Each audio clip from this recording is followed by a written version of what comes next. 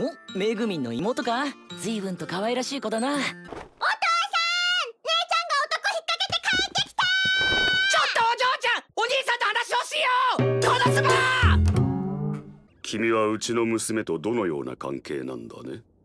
何度も言いますがただの友人にやめて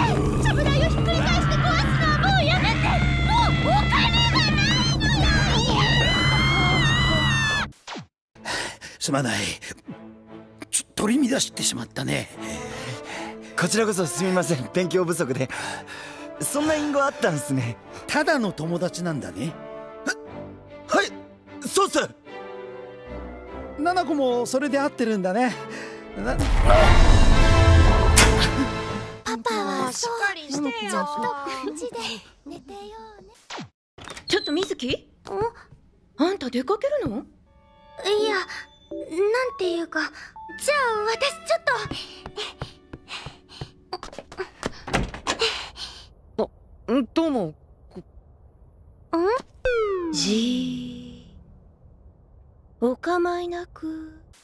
どうぞ。はあお邪魔します。もうええってそんな気使わんで。あ？もしかして彼氏？大谷様です。あどうもえっと一つ聞いてええすか？身長以外なら。いいんすかこれで。やかましいわ。どっか行きさらせてくれ。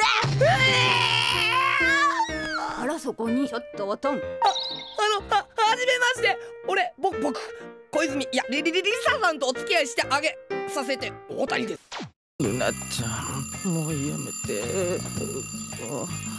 ああ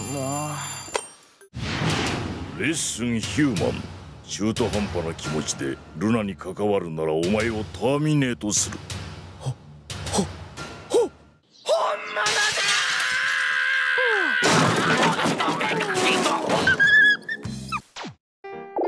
はい、156センチちょっとしかありません。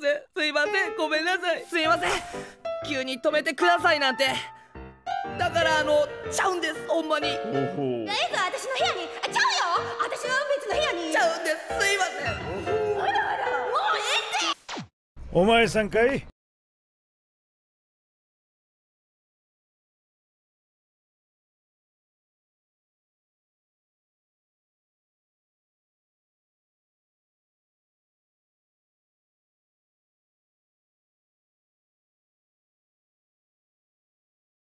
ええはいあ高坂さん。ってなんか雰囲気変わった？あなたは秋穂の恋人の？あおおおお母様でしたか。秋穂は今買い出しに行っておりまして戻るまで私がおもてなしいたします。いえいえそんなもんお気遣いなく。そうですか。確かに不倫になるかもですね。あ？どんなおもてなしをするつもりだったんだろおお帰ったかマリー。早かったな。あらお父様。ちょうど呼びに行こうと思っていたところです。親父顔怖っお父様この方が私の言い名付けの一条楽様ですわ。素敵でしょ？おお君があの一条のせがれかこの傷。ええっとかっこいいっすね。こいつは昔君の親父さんにつけられた傷であの親父何やってんだわしら人魚の掟ではの人間と関わり正体を見られた人魚は死刑中決まりなっとるんじゃ。己のせいじゃほんならうちのさんがなんで人助けして知らないか今じゃ喜んじゃろうが。正体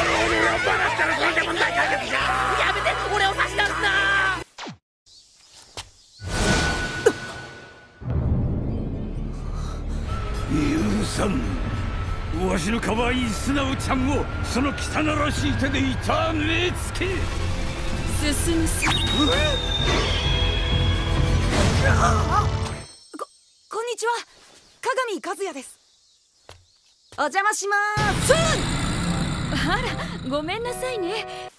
じゃけね長住くん。うちらで長住くんとさんが両方知らんでええ方法を考えたんよ。うちのさんと結婚してくれんね。え？たらみなんや翔太だけうちのさんをやられたいただけたらくり。ミオちょっといいか？おい。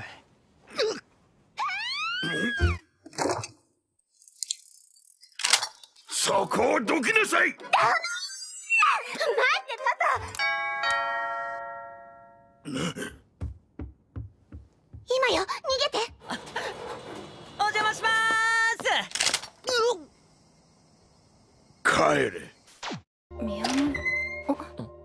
京子その男誰？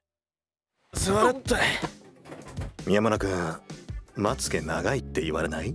はいお通し。あれでしょ？宮村君はお前の彼氏なんでしょ？そうよ。なんか文句あんの？おお邪魔します。あれ？さっきまで神様いたんですけどね。神様って一体？もやっと会えたね聖司君ちょ神様？嫌じゃな水臭いお父さんと呼んでおくれよ。もう。さあ僕はねグリちゃんの daddy です。えー、あのこちらに高梨という人がいるはずなんですが。高梨は私ですが。え？あそうか。本当に女の子なんだ。よかった俺もよかった。まさか本当は男で女装だったりしてもし男だったら。あすいません。こうなってこうですから。見てこの顔すっごい可愛くない？めっちゃ天使じゃない？いやグリちゃんのたまに見せるマジ顔たまんないよね。今はまだ恋もよく分かってない子だけど娘をよろしくお願いします。いらっしゃいミーシャちゃん。はじめまして。サーシャ・ネクロンです。あのあのあのあのち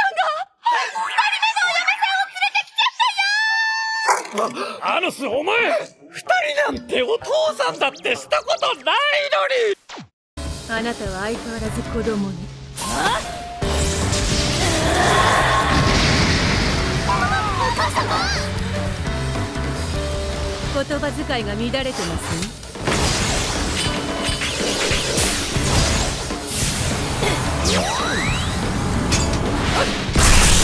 茜さんのこともちゃんと愛してるしお母様は誰も憎んでなんかいませんよ。それで頭を狙ってくるところはさすが母子ですね。器じゃないだろうにどうせボロ出さないように必死にやってんだろ白金会長はこの学園の代表としてふさわしい立派な方です。うみゆきのことを恋愛対象として好きなのか？なんでそんなことを見ず知らずの人に言わなきゃならないんですか？まだいたのかよ。会長そちらの方とお知り合いですか？知らない人だよ。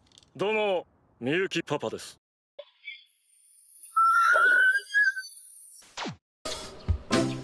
ようこんちはっす。二人とも飲み物はコーヒーでいい？なんでも。はーい。少し待っててね。